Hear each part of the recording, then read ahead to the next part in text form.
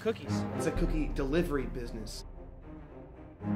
That's like what? Pot, reefer, Acapulco Gold? These are snickerdoodles. Classic. You got what, like 40, 45,000 students on campus? One percentage gets baked.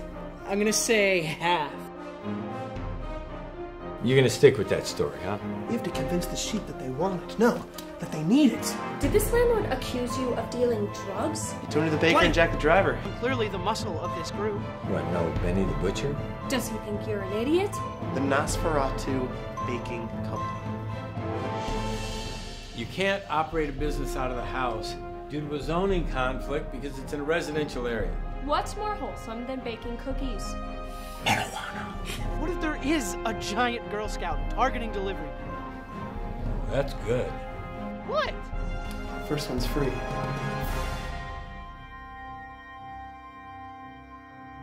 Looks like someone got her murder badge.